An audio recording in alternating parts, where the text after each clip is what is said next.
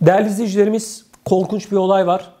Şimdi bizleri Almanya, Fransa, Hollanda, Belçika gibi yurt dışının ülkelerinden izleyen, yurt dışında yaşayan vatandaşlarımızın bu bölümü çok dikkatli dinlemelerini rica ediyorum. Biliyorsunuz bazen internetten ve Avrupa kanallarından, televizyon kanallarından bazı doktorlar çıkıyorlar. Estetikti vesaireydi. Bunlarla ilgili saç ekimiyle bunlarla ilgili yayınlar yapıyorlar. Bunlara çok dikkat edin. Hepsi için söylemiyorum. İşini dürüst ve doğru yapanlara asla bir sözüm yok. Ama işini doğru dürüst yapmayan, e, insanları mağdur eden çok sayıda insan var. Bunlara aman aman dikkat edin. Şimdi bir olay anlatacağım. Korkunç bir olay. Adam saç ektirmek için İstanbul'da İstanbul Etiler'de bir kliniğe gidiyor. Klinikten çıktıktan bir saat sonra ölüyor. Bak yurt dışından Türkiye'ye bazı ameliyatlar, estetik ameliyatları olmak için gidenler var. Çok iyi araştırın. Bak olayı anlatacağım biraz sonra. İnanılmaz bir olay. İnanılmaz bir olay ve adamın hiçbir rahatsızlığı yok. Anlatılan bu bakın. Haberi aynen okuyorum size. Hiç noktasına virgülüne dokunmuyorum. Bizi yurt dışından Almanya başta olmak üzere dünyanın dört bir yanından izleyen vatandaşlarımız lütfen çok iyi dinlesinler. Bakın Etiler'de, İstanbul Etiler'de bir saç ekim merkezinde 5 Kasım günü saç ekim işlemi yaptıran Umut Tuğcu iddialara göre saç ekim işleminin ardından eve döndüğünde kendisini iyi hissetmediğini söyledi. Evde bayılan Tuğcu ambulansla hastaneye kaldırılırken yolda öldü. Saç ekim işlemi sonrası Tuğcu'nun hayatını kaybetmesinin ardından şüpheli ölüm üzerine olay hakkında İstanbul Cumhuriyet Başsavcılığı tarafından soruşturma başlatıldı. Tuğcu'nun kesin ölüm sebebinin belirlenmesi için otopsi yapıldı. Soruşturma kapsamında Adli Tıp Kurumu'nun rapor hazırlanması bekleniyor. Bu sabah saatlerinde ise saç ekim merkezi saç ekim merkezine İstanbul İl Sağlık Müdürlüğü'ne bağlı ekipler giderek inceleme yaptı.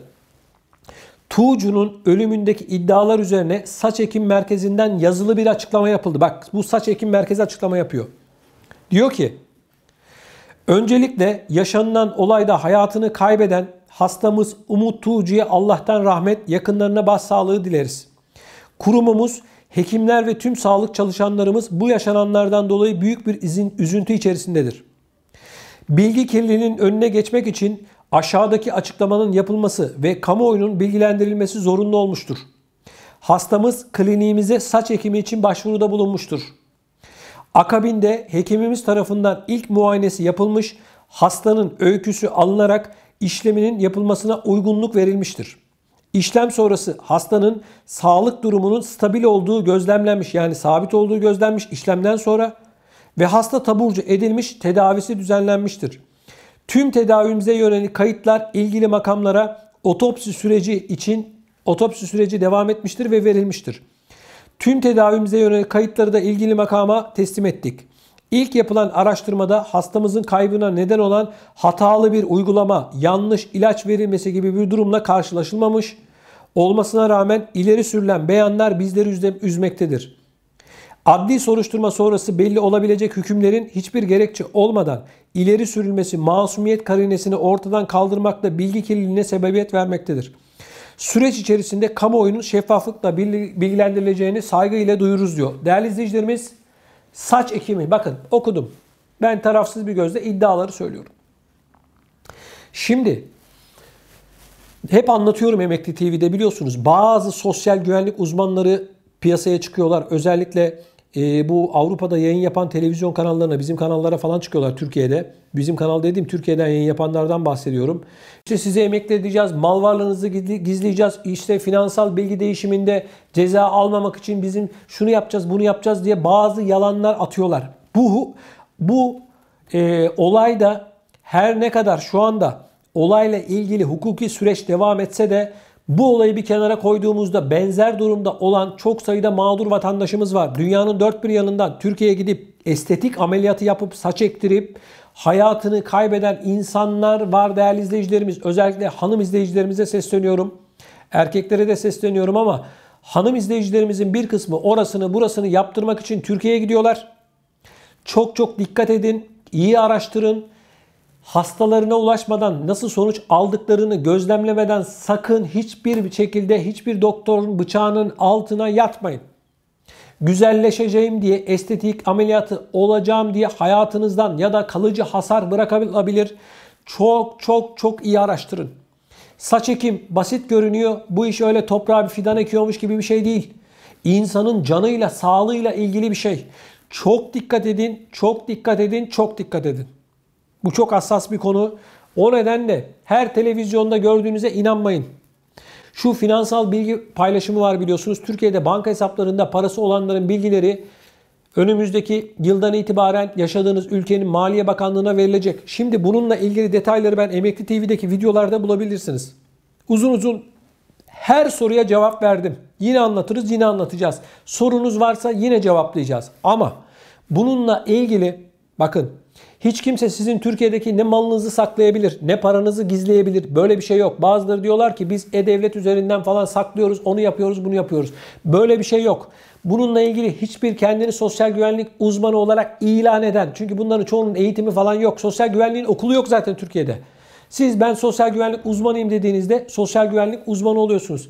Sakın bunlara Hiçbir vekalet vermeyin. Bu işlemlerle ilgili hiçbir avukata vekalet vermeyin. Hiç kimse sizin malınızı, paranızı gizleyemez. Karşı tarafa bildirilmesinin önüne geçemez. Sakın ola ki avukat da bu konuyla ilgili bilmem neydi falan bunlara hiçbir şekilde paranızı kaptırmayın. Açık olarak söylüyorum. İşini dürüst yapanlara sözüm yok ama bu konuyla ilgili hiç kimse hiçbir şey yapamaz. Türkiye uluslararası bir anlaşmaya 107 ülkeyle imza atmış. Mal varlığınız, e, paranız, bankadaki paranız bildirilecek.